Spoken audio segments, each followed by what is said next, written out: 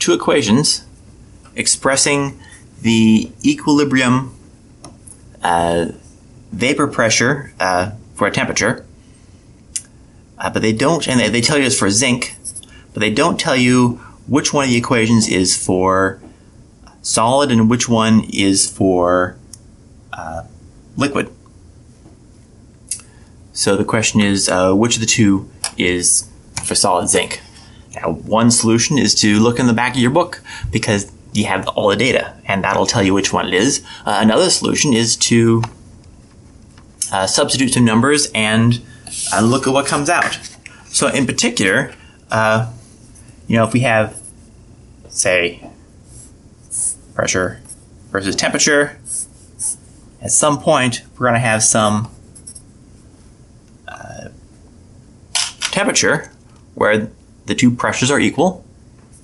And when that happens, uh, we know that if we go slightly above, that we should wind up with a pressure for liquid which is lower than uh, for solid. So let, us do that.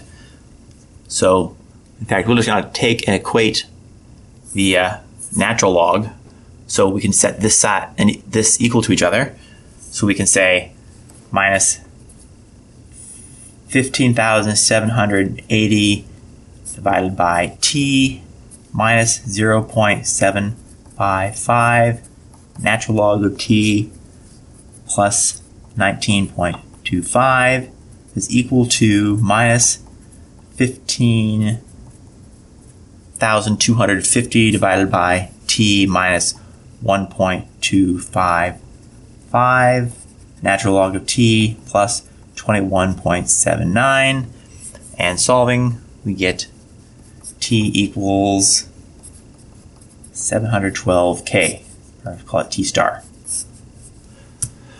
Great. So that is the point where the two are equal. Let's go uh, slightly above that. Test uh, t equals 713k and when we do that, the left hand side, this equation, turns out to be 3.929 times 10 to the minus 4 atmospheres. And the right hand side